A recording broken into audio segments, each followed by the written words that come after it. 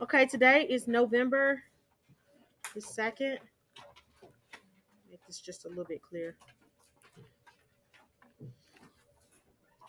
We're going to do the warm up. We're going to write, let's write our EQs first. And then let's do the warm up. We have notes today on parallel and perpendicular lines.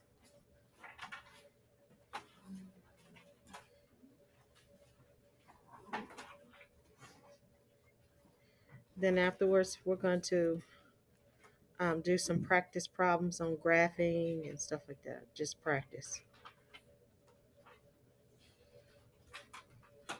Your homework tonight, I only want you to work on the Delta Math, the Delta Math assignment. Cross out Tuesday and work on the Delta Math assignment, please. Cross out Tuesday and work on the Delta Math assignment. I'm going to pause for the calls to give you a chance to write. Okay?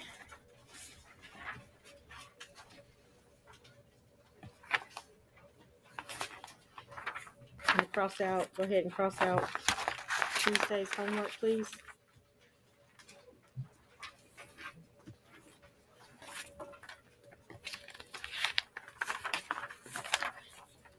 Let's look at the warm up. We're going to mark out number one. We're going to do number two. I want you to do number two. Number three, let's just do one, two, three of these. Finding the range values.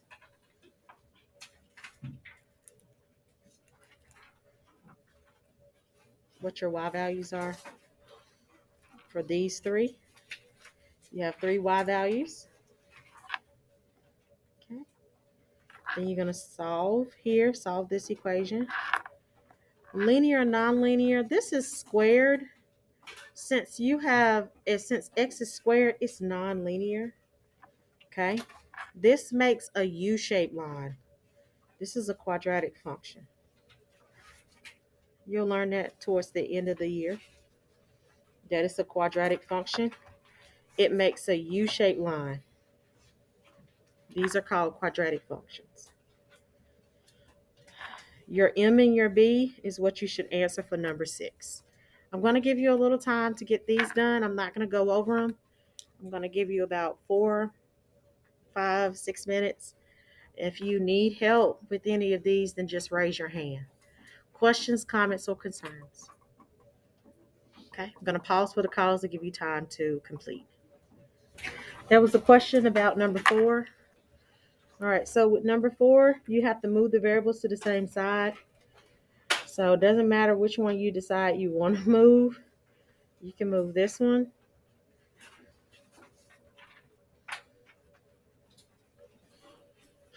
When you move that, this is gone, and you're left with one fourth. Bring down the equal. This gives you 3 over 4. This, the denominators are the same. You're going to subtract the numerators. What's 1 minus um, 2? We got, no? Yeah, you got negative 1 um, plus 2, which is the same as saying 2 minus 1. What's this equal to? 1. Equal to 1. All right, so that's 1 on the top. And what on the bottom? Three. Three. Okay. So now what do we do to get y by itself? What do we move first? Elijah? Um, you well, you are going to multiply by the reciprocal, but you're going to do that last. What do you do before that? Yes. Um, Mm-mm. Yes. Subtract 3 over 4. So when I subtract 3 over 4 on both sides, what does that give me here? Negative 2 fourths. Or what? Okay.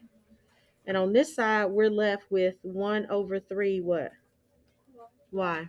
Okay, so now what do we do? Somebody had already said it earlier. How do we get rid of the one third?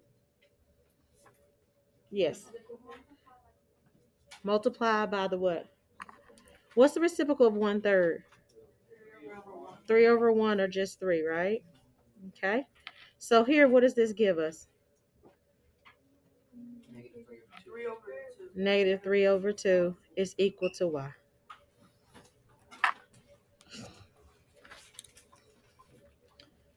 All right.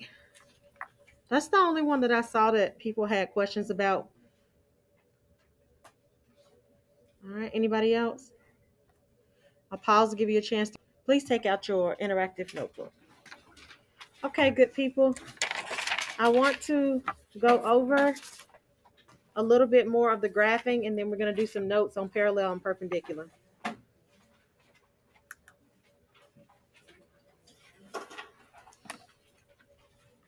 Take out the sheet from yesterday on graphing, not the new sheet, two completely different sheets.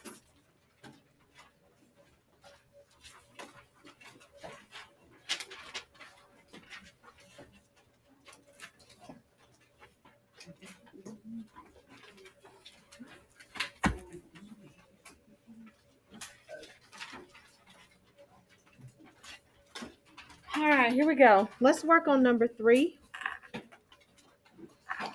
First thing we need to look for is to see if it's written in slope intercept form. I'm going to wait just a little longer because I see some people still fidgeting. All right, here we go. This equation is already written in slope intercept form. That's the first step. The second step is to label our m and our b. What's the m in this equation here? What's the m? One. How do you write one as a fraction? One over one. So top numbers are rise, the bottom numbers are run. Okay. What is our b in this equation? One. Okay, one. So now we're going to find b, the y-intercept on the y-axis. Positive 1 on the y-axis is right here. This is where we plot our first point. This is the starting amount.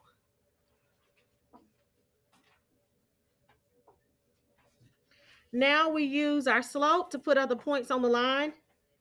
So from this point, rise says 1, positive 1. So that means I go up 1. Run says positive 1. So that's up 1 to the right 1. Up 1, right 1. Up one, right one. Up one, right one. Up one, right one. Go until you run out of space. If you want to put points in the opposite direction, you have to do this backwards. So instead of it being positive 1, it's going to be negative 1 on the top. Positive 1, instead of that, it's going to be negative 1. Why? Because a negative divided by a negative is still going to give us this positive 1 over 1. It's the same. They're equivalent. So now you're going to go down 1 to the left 1. Down 1, left 1. Put your point there. Down 1, left 1. Down 1, left 1. Down 1, left 1. Down 1, left 1. Down 1, left 1. Go until you run out of space. Connect your points and make sure you put arrows at the end of the line. That's an indication that the line is continued without end.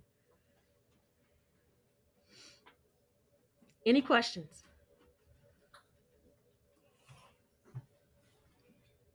Yes, babe.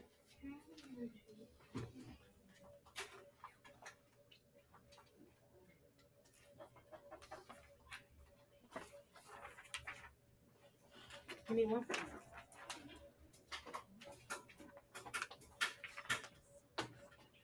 Can you give him one, please? Anybody else missing a sheet? Okay. All right. Let's look at number, let's look at number four. It's written in slope intercept form. Let's label our M and our B.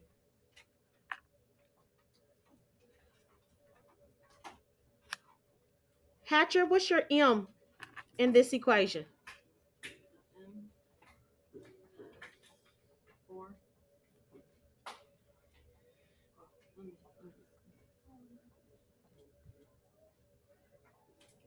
What's our M? Kyle? 4 over 3. The number that's attached to x is the m. It's going to be 4 over 3. The top number is our rise. The bottom number is our run. What's our b? Yes. Negative 4. Okay, so that's the first thing you do. After you make sure that the equation is written in slope intercept form, then you're going to identify the slope and the y-intercept. Now we're going to find the y-intercept on the y-axis. Negative 4 on the y-axis is down 4. This is negative 1, 2, 3. This is negative 4. This is where your starting point. Graph the y-intercept on the y-axis. Now you're going to use your slope, your rise over your run to put points on the line. Your rise is positive 4, so go up 4. Your run is positive 3, so go to the right 3.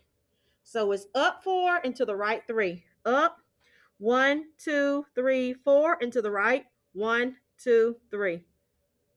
Up, 1, 2, 3, 4, and over to the right, one, two, three.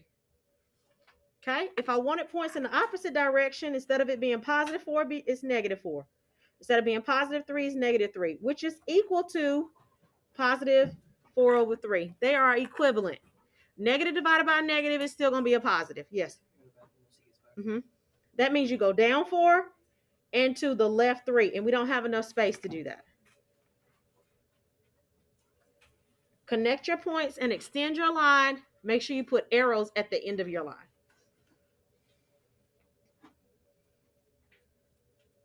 Number five.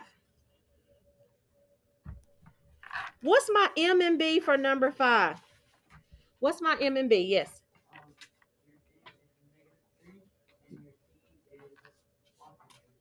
It is. How do I write my M as a fraction? Yes. Very good. Put a one under it. The top number is going to be what? Rise. The bottom number is going to be what? Okay. So that means I go down three and to the right one. Down three, right one. Down three, right one. What do I do after I label my M and my B? What do I do after that? What do I do? Yes. Very good. Find negative 3, the starting amount, or your y-intercept on the y-axis. Negative 3 is here on the y-axis. Now I go from this point, where am I going? Up or down? Down. Down how many? Three. One, two, three, and then go where? Right one. I don't have enough space to continue that, so I go in the opposite direction. That means that instead of this being negative, it's going to be positive. Instead of this being positive, it's going to be negative, which is still equal. They're equivalent. So now you're going to go up three and to the left one. So up, one, two, three, left, one. Up, one, two, three, left, one. Up, one, two, three, left, one. Up, one, two, three, and left, one. Connect your points. Make sure you put arrows at the end of your line.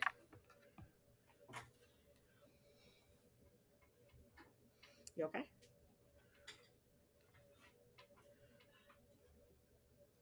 Number six. Y is equal to 4. How do I graph y is equal to 4? I find 4 on the y-axis. 4 on the y-axis is up. 1, 2, 3, 4. This is where I put my point. And since it's just y is equal to 4, I draw a line through the y-axis.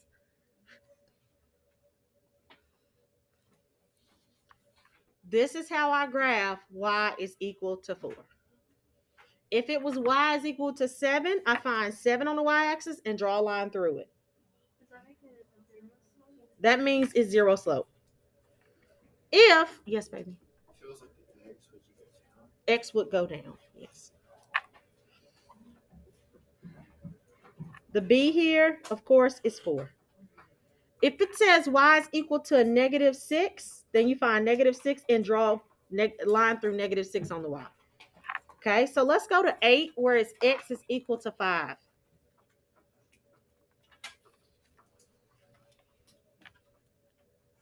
I need to find 5 on the x-axis. 5 on the x-axis is 1, 2, 3, 4, 5. And draw a line through the x-axis. What kind of slope is this? Undefined.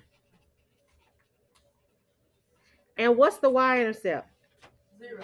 None. It doesn't go through zero. It doesn't go through y at all. Okay? Any questions about that? Is there anyone that's lost with graphing this? Okay. At the end of class, I want you to, to finish this part, okay?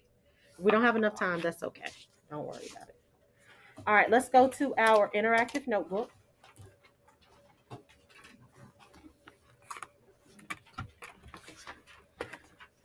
This is our practice sheet for the interactive notebook here. So we can fold. I'm gonna fold this, show you kind of how to fold it so we can paste it in. Fold it just like this.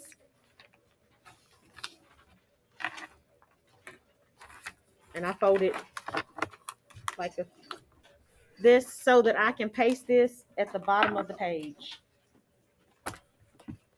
And then paste it down here. But don't paste it until you finish it because it's hard to graph on the sheet if it's already in your notebook.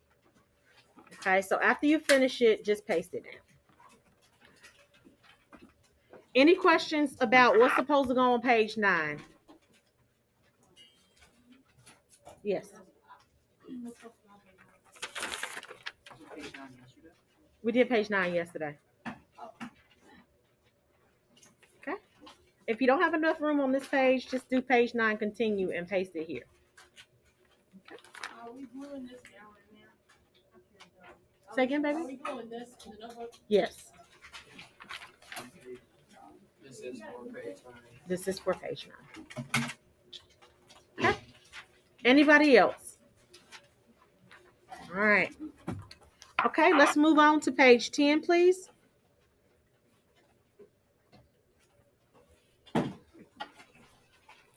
We are writing equations for parallel lines.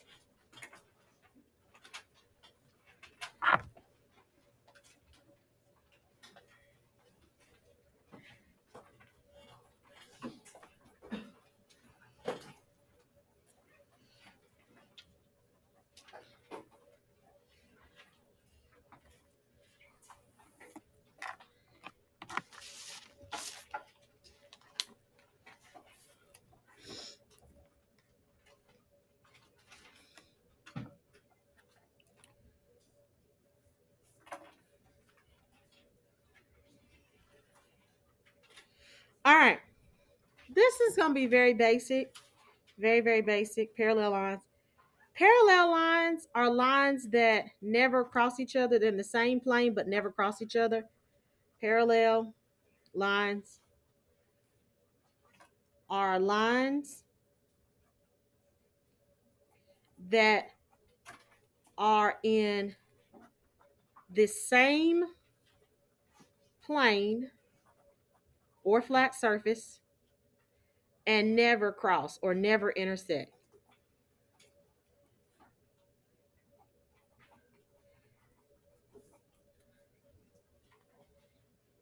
So examples of what that looks like.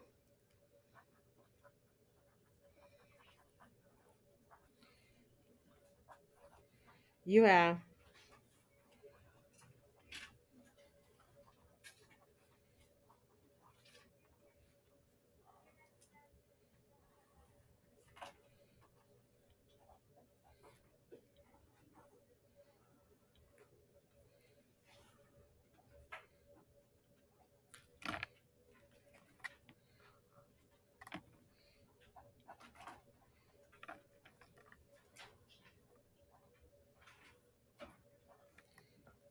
super important to know that parallel lines have the same slope.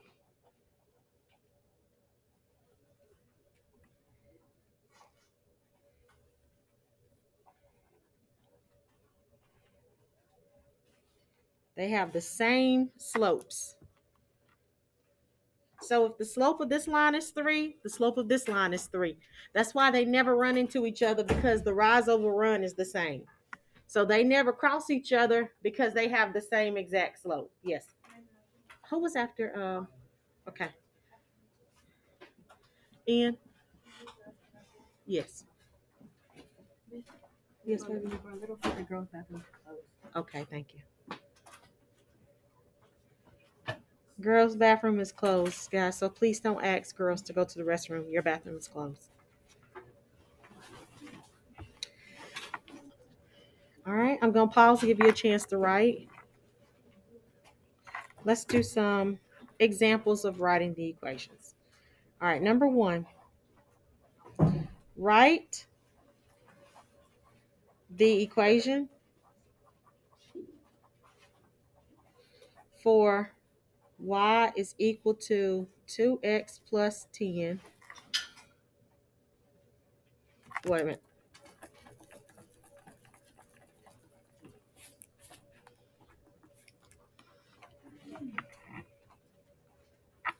Write equation for the line that is parallel. Sorry to y is equal to 2x plus 10.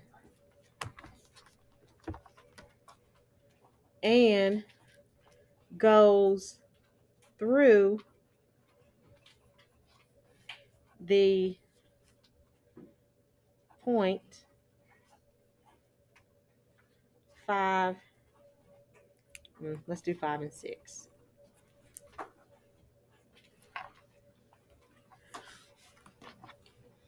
So you're going to write an equation for the line that's parallel to this line right here. So I'm going to show you how to do that. All right, first things first is you have to identify what the slope is. What is the slope of this line right here? y is equal to 2x plus 10. 2. m is equal to 2. So is m is if m is equal to 2 for this line, m is going to be equal to 2 for the other line as well. Any questions about that? What's missing in order to write the equation? We know what the slope is, but what do we need to write the equation for the second line? We got the first line, we need the second line. What do we need in order to write an equation, Peyton? We need to find out what B is. Any ideas as to how we could find, move this cursor out the way. Any ideas as to how we could find B? Yes. Uh, use the coordinate as x and y, y, uh, do the equation. Okay. Y equals, um, mx plus three, gives you, use the coordinates as the x and y. Very good. We could use this point right here. This is our x, this is our y. And just like he stated, we can use the slope intercept form, y equals mx plus b. And we could substitute the val- these values in to find b. All right, so look, what are we going to put in the place of y? What are we going to put in the place of y? Yes, 6 is equal to, what are we going to put in the place of m? What are we, 2 times, what's x? 5 plus what? b. Okay, so now what do we do in order to solve for b? Yes. You would, multiply the, the two by And what does that give you? ten. 10. So now what do we do to solve for b? Yes, Dalton. Subtract 10. Good job. And what does that give us for b? Negative four. Negative 4. So now we know b is negative 4 and m is 2. So what's going to be that other what's going to be that other equation? Peyton? Y equals two x y equals 2x minus minus 4. Excellent. This is the other line. Any questions about that? Yes, but you need wait. Okay, no problem. Okay. So we're going to do writing equations for perpendicular lines. Again, we're going to have more examples, no worries, but I do want to get the notes in for this. This is page, what I say, 11? This is 11? Yeah.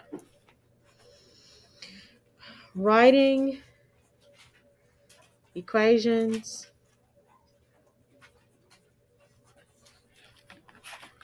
uh, for perpendicular lines. Making sure I use the same verbiage.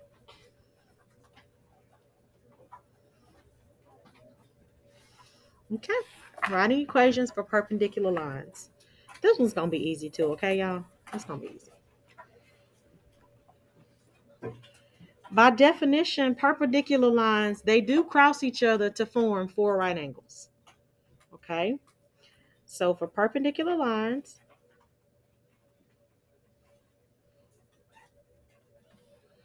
perpendicular lines are lines that cross each other to form four right angles.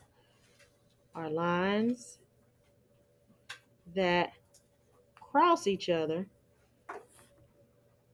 and we can infer that they're in the same flat surface because they cross, okay? Lines that cross each other to form four right angles. How many degrees are right angles? 90 degrees. Okay. And what does that look like? When you graph them, it looks like this, okay? I don't know which one. I think you did. He did come first. Go ahead, baby.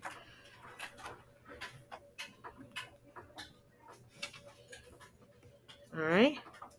So you have lines that look like this, four right angles here.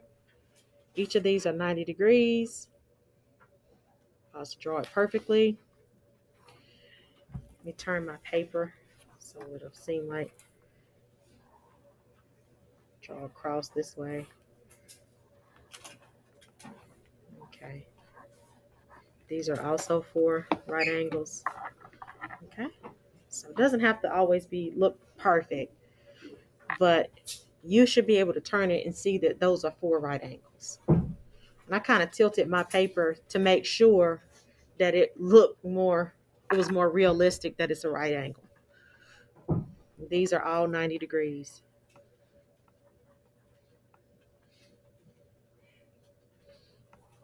Okay.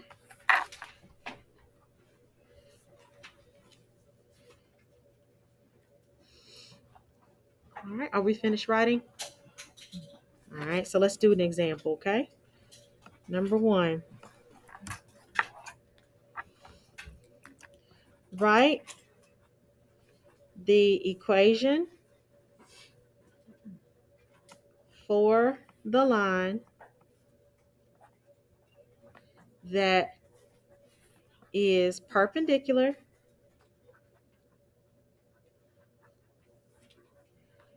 to uh, y is equal to, let's do 3 over 4. 3 over 4x, let's do plus 5. Okay? And goes through point. Um, let's do, move this down so it's not in the way. Let's go through point uh, negative 2 and 3.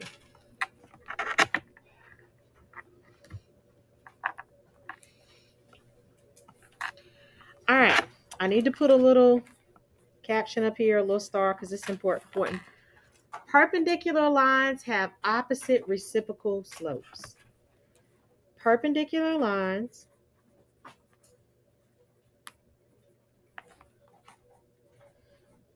have opposite reciprocal slopes. Not the same slopes like parallel, but opposite reciprocal. So Miss Reyes, what does opposite mean?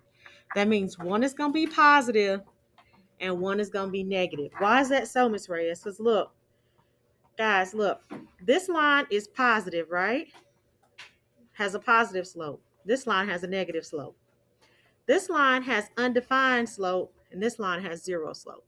So they're opposites, okay? All right, so an example of opposite reciprocal slope, if the slope is um, one half, what would the slope of the other line be if it's perpendicular? Negative what? And no, it's negative. No. The, two over one. Negative two over one or just two. That's opposite. One's positive, one negative. Reciprocal means you flip the numerator and the denominator. All right, so let's try number one. Try number one.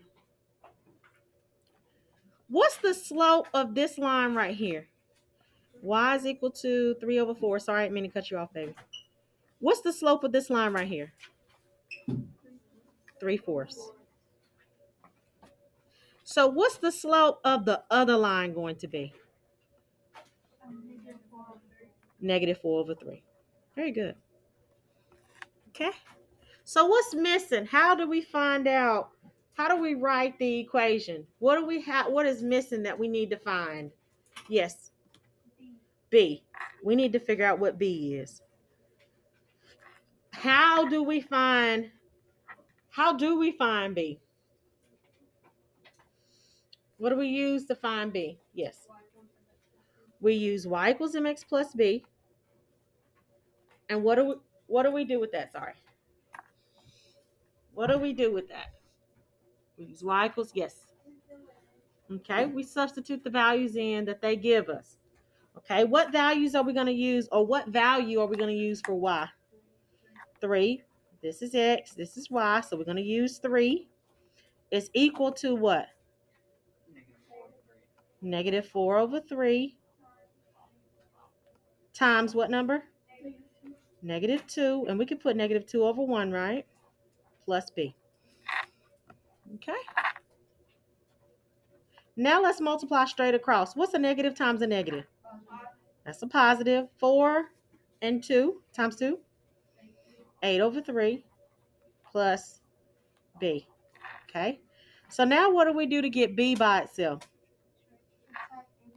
Subtract 8 over 3 on both sides. Okay. This is b on this side. Okay, so what's 3 minus 8 over 3? What's the mixed number for 8 over 3? We know 2 and 2 thirds. So if that's the case, what's 3 minus 2 and what you say? 2 thirds. 1 and 1 third. Uh, and is it positive or negative? Negative. It's negative. So, Yeah, No, because three minus two is one. and then you have to take away two more thirds. So it's oh one yeah, third. so it's just one third. Okay, so now we have M and we have B.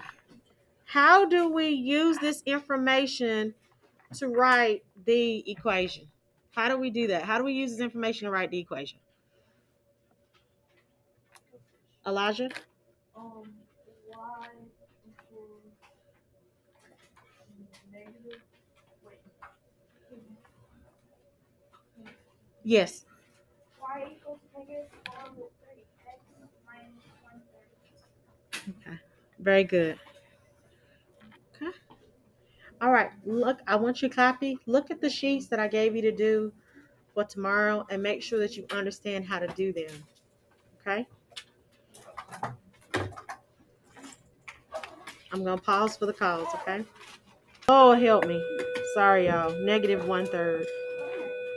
Sorry, sweetheart. All right. Okay, guys, make sure that you get the sheets that I gave you tomorrow. Make sure you get those done. Okay. Make sure you put your calculator back, please.